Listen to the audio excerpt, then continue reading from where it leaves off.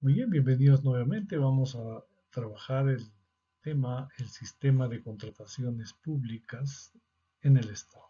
Introducción. El sistema de contrataciones está normado por la compra de bienes o para la compra de bienes, servicios y obras, específicamente para esos tres rubros. El sistema delimita las contrataciones con el Estado, pero algunos quedan excluidos de este sistema. Por ejemplo, el caso de las asociaciones público-privadas. Otro punto, las normas se modifican con regularidad porque es un sistema vulnerable a la corrupción. Tenemos muchos casos de este tipo en los tres niveles de gobierno. En cuanto al sistema de contrataciones del Estado, podemos decir que el órgano supervisor de las contrataciones del Estado es OCE. Ese el organismo público técnico especializado que ejerce competencia en el ámbito nacional y está adscrito al Ministerio de Economía y Finanzas, es decir, es su órgano rector. Es el encargado de promover el cumplimiento de la normativa de contrataciones del Estado peruano en los procesos de contrataciones de bienes, servicios y obras. Goza de autonomía técnica funcional, administrativa, económica y financiera y constituye un pliego presupuestal mediante decreto de urgencia del número 014 del año 2009 se estableció que la vigencia de la Ley de Contrataciones del Estado y su reglamento, así como el inicio de sus funciones de OCE, serían a partir de febrero de ese año. Asimismo, se ordenó que la publicación del reglamento de organización y funciones de OCE en la página web del portal del Estado peruano, así como el portal de OCE, se realice el mismo 31 de enero de 2009. Aquí lo que estamos mirando es una perspectiva temporal histórica de cómo surge el sistema de contrataciones en el Estado peruano. En cuanto al organismo supervisor de las contrataciones del Estado, que por sus siglas adelante será OCE, es una entidad encargada de velar por el cumplimiento de las normas en la adquisición y contrataciones públicas, la cual supervisa los procesos de contratación de bienes, servicios y obras que realizan las entidades estatales y cuenta con personería jurídica de derecho público que goza de autonomía técnica, funcional, administrativa, económica y financiera. Y el personal que labora en esta institución está sujeta al régimen laboral de la actividad pública, ¿no? privada. Entonces, aquí tenemos que eh, OCE está adscrito al Ministerio de Economía y Finanzas. Es un sistema interesante porque ya sabemos que el Estado requiere pues, de una serie de servicios, contratar para N aspectos y este, en este sistema se canaliza todo ese conjunto de requerimientos. Veamos ahora el Plan Anual de Contrataciones, conocido como PAC. El PAC lo que hace es Obviamente, todas las entidades, todos los años, saben que requerimientos de bienes, servicios y obras van a necesitar el siguiente año y por esas razones que tienen que contemplar este plan anual de contrataciones, que tiene características y finalidades concretas. Por ejemplo, en cuanto a las características, este plan anual debe ser integral, público y formal.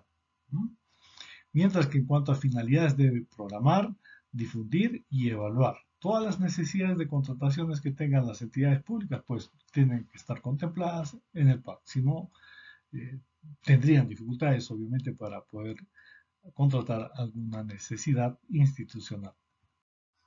Muy bien, entonces veamos cómo se formula el PAC. ¿no? Las áreas usuarias del Estado deben programar en el cuadro de necesidades sus requerimientos sobre la base del proyecto del POI, del plan operativo institucional, que es donde se detallan las actividades que van a realizar, adjuntando las especificaciones técnicas de bienes y términos de referencia de servicios. En obras remiten la, la descripción general de los proyectos a ejecutarse.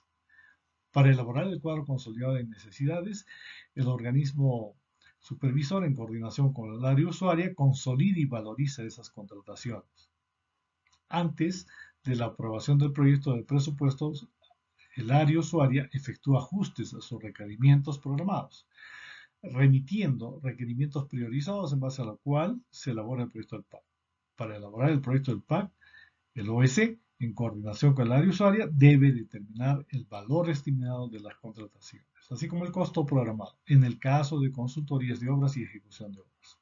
Aprobado el PIA, recuerden el PIA es el Plan Institucional Anual, el OEC, en coordinación con el área usuaria, ajusta el proyecto del PAC. ¿no? Entonces, como sigue una serie de secuencias y de pasos esta formulación, lo que tenemos que tener en consideración son herramientas de gestión clave. ¿no? El POI, que como todos sabemos, ahí se detallan las actividades que se van a desarrollar en una entidad del Estado.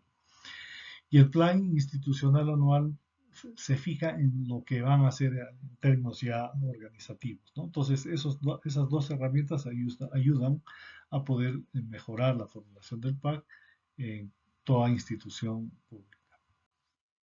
En cuanto a la formulación y aprobación del PAC, sigue esta secuencia.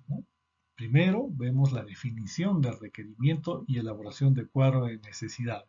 Se adjunta términos de referencia, descripción de proyectos, etc. Ahí está.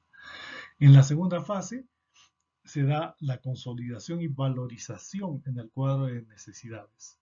Se hace un ajuste de los requerimientos y el cuadro de consolidación de necesidades según proyecto de presupuesto y elaboración del proyecto PAC.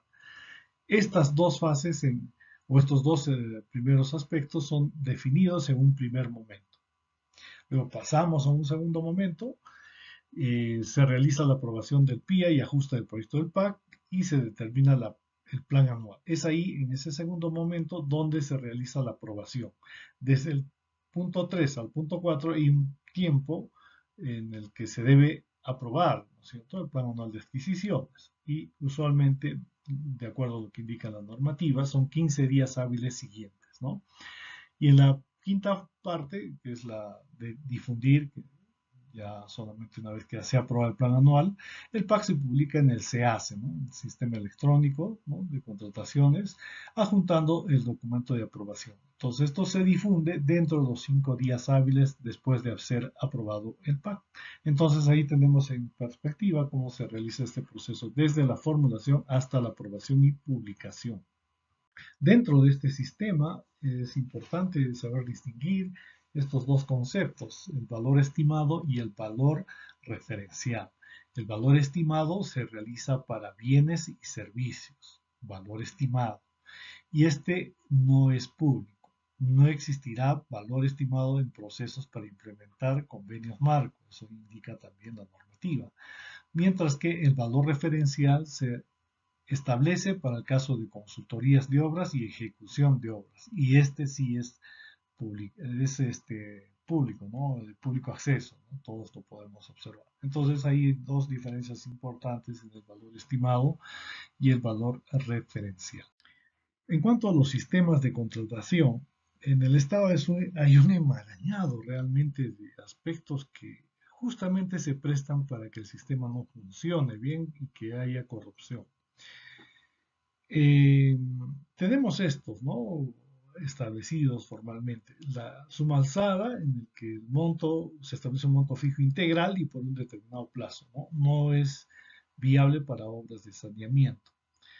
En el caso de los precios unitarios, se sigue un monto según lo ejecutado. En el esquema mixto de suma alzada y precios unitarios existe una magnitud y cantidad no definida, precios unitarios y lo definido por obras y servicios. En cuanto a las tarifas en base al tiempo trabajado, se realizan consultorías en base a porcentajes eh, para cobranzas y recuperaciones y en base al honorario fijo y comisión de éxito se realizan los servicios. Entonces hay un marañado ahí bastante difuso de los sistemas de contratación que actualmente están vigentes. Igualmente, veamos ahora los sistemas de contratación por ley. Existen ocho sistemas, ¿no? Es bastante realmente complicado a veces entender todo este conjunto de aspectos normativos que más que aclarar confunden. Pero son los que están actualmente vigentes la licitación pública o concurso público, la adjudicación simplificada, selección de consultores individuales, comparación de precios, subasta inversa electrónica, la contratación directa, los métodos especiales de contratación y los catálogos electrónicos de acuerdo marco. Entonces, como es un enmarañado de temas, vamos a simplificarlo con un cuadro para poder entenderlo rápidamente. Muy bien, entonces veamos ahora los sistemas de contratación en el caso de valores referenciales, ¿no? ¿Cuáles son los topes para procesos de selección? Recordando que las normativas suelen cambiar. Eh, he escuchado actualmente al presidente de transición que va a propiciar cambios en el sistema de contrataciones del Estado y es probable que estos temas también puedan ser modificados. Como ya les digo, eh, con cierta y relativa frecuencia o periodicidad se suele modificar. Entonces, el régimen general para la contratación de obras, bienes, y servicios en soles es lo que podemos observar en este cuadro. ¿Cómo debo entender? Los tipos de proceso de selección están a la izquierda, que va desde la licitación pública hasta la subasta inversa electrónica. Hay, un asterisco para explicar a qué se refiere. Eh, tenemos para el caso de obras, bienes y servicios. ¿no? Por ejemplo, en el caso de la licitación para obras, eh, se estableció hacia el año 2016 que este, estos deberían ser mayores a 1.800.000 soles y para bienes montos mayores a 400.000 soles.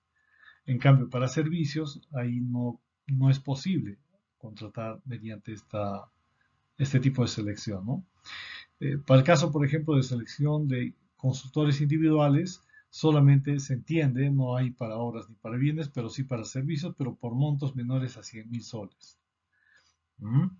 Entonces, cualquiera de estas modalidades las podemos entender así. ¿Qué es lo que se puede observar? Que la mayor importancia se le da evidentemente a la licitación pública y a la adjudicación simplificada por los montos y porque en el caso de la adjudicación simplificada opera para obras, bienes y también para servicios. En el, resto de casos hay ciertas limitaciones y restricciones.